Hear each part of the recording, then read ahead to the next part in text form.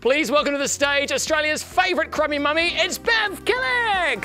Hello! Thank you, Ben. It's good to be here. Uh, I've just had a baby. About 15 and a half years ago. But I need some excuse for this. It's hard work losing the baby, but it gets me a seat on the tram. This is what you do you arch your back, you put your hand down here like this, and you breathe really heavily. Oh, tired. Get a seat on the tram. Yep. So I've got the two kids. I've got a little one and a big one, but I'm not one of those yummy mummies. You know those yummy mummies getting around Brighton. I live in Brighton. They can't even pronounce their own suburb. It's Brighton. But you know the ones I mean. Oh, look at me, I'm a yummy mummy. I go to Lorna Jane for my leggings and my jeggings. I don't go to yoga, that's the filthy, dirty hippies. I go to Pilates. Everything about me is yummy, even my jogger pram. Look at me, my three wheeler jogger. Costs more than your car. And they don't need any work done, these yummy mummies, because that ponytail's doing it all for them. I don't want to be one. I want my kids to know me for who I really am. I don't want them to have to get therapy when they're older. Shit, that's my mum. Because I'm a smoking, drinking, farting, swearing, sometimes get my tits out of family barbecues. Because I'm a crummy mummy, that's what I am. Who's going to join me? Yes. But my best friend, she's not just a yummy mummy, she's a step beyond. Very English, very proper. Her kids go to Steiner, alternate education, and they learn their alphabet through their bodies. Like, what the? and they eat things like kale and quinoa. Yeah, it's not quinoa. I thought it was quinoa too, but it's quinoa. It's very hard to give them gifts because everything has to be handmade out of felt and whatever. It's like, what am I going to give them? I know, here's some organic breath. but she's one of these people, she's always, she knows everything, right? She's a real know all.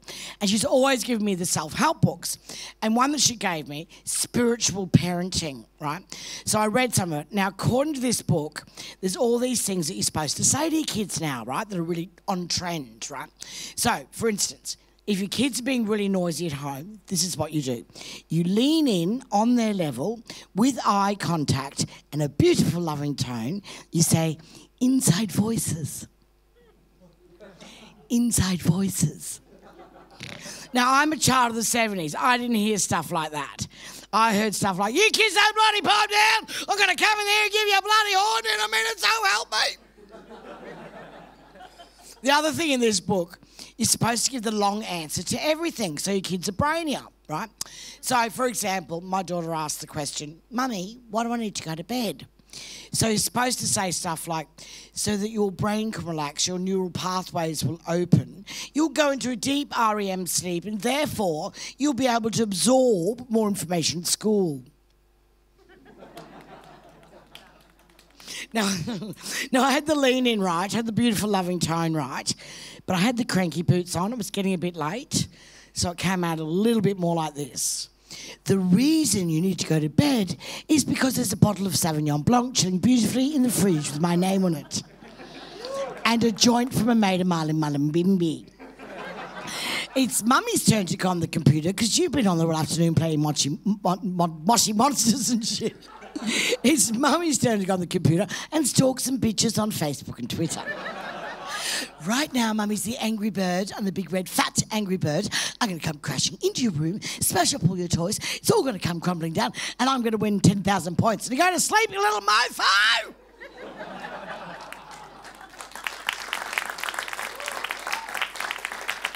Inside crying, inside crying. and then there's the teenagers. Oh, who's got teens in the audience? Anyone? Can you just pretend? Yeah, I know, right? um, it's so hard to get them to clean up their rooms. It's almost impossible. I mean, what do we need to do? Do we need to have an opera in the hallway outside their bedroom door with a couple of choirs either side? Clean up your room. clean up your room. I want you to clean up your bloody room. She really means it. She really means it. I can smell it from here. Yeah, I reckon. Or you can have a couple of guest starters, you know, that haven't had a go in a while, like Macy Gray. I tried to clean your room and I choke. I tried to wash the sheets and I chunder. Just clean up your room. Thanks for having me.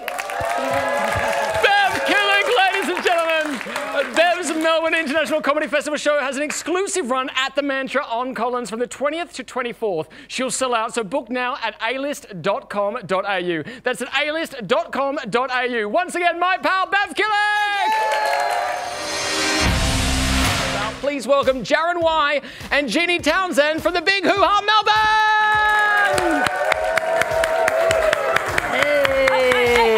Hey, Ben, Ben, Ben, come back, come back, come back, come back, come uh-huh. back. Come on back. We're gonna get you part of this as well. Hello, this. You guys are coming and everyone. doing an, doing an act. No, no, no. You're in this. You're a part of this. We're gonna be playing okay. a game that we love to play at the Big Hoo Ha, where Ben will be our scene partner, but can only read Kind of matching. I'm just like you should be ah. wearing. H&M. Yeah, yeah.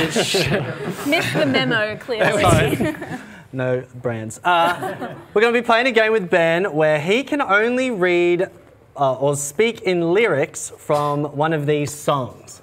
So we get to say whatever we want, but Ben can only speak in song lyrics, and we just have to try and justify what he's saying and make a scene from that. So You're do you wanna making me. pick Re- a I've been struggling to read an auto cue for the last hour, and you're giving me Don't worry, it's size 16 fun. font. Uh, I made it nice Good. and big. All right. Which Uh, so what am I doing? Pick a song, any song. Lucky dip.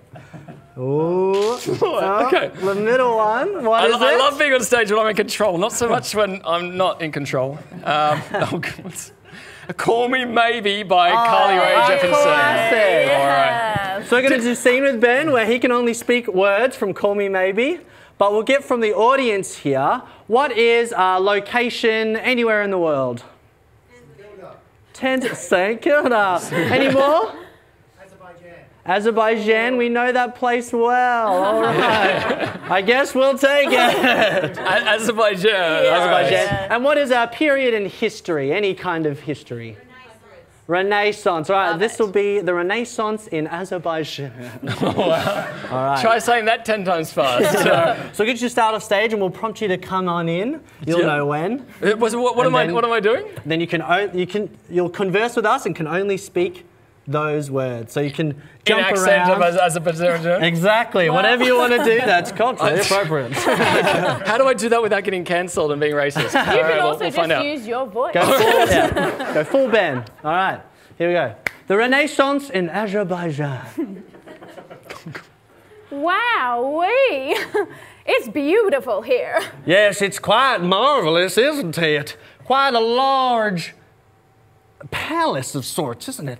Well, I hear sometimes the tour guide lets us go inside, and well, one day we might actually see the king of Azerbaijan. Oh, you don't mean it. Oh, yes. Oh, oh my goodness. I threw a wish in the well. Don't ask me. I will never oh. tell. Oh. I looked to you as it fell, and now you're in my way. Oh. oh, Wait, wait, Wait, King. Billy Bob, Billy Please. Bob, is that the king? that's the king of Azerbaijan. I trade my soul for a wish, pennies and dimes for a kiss. Oh it is culture here to give a penny to the king for a kiss. I was thinking he maybe wanted something else. Well, uh, I wasn't looking for this, but uh, now you're in my way. Oh, perhaps a prince you want. Well, king, could you give us a tour? Yes, uh, your stare was holding. Ripped jeans, skin was showing. Oh, sorry. Yes, My um, skin is showing. Oh, is that an offense to thee, dear No, king? a hot night, wind was blown.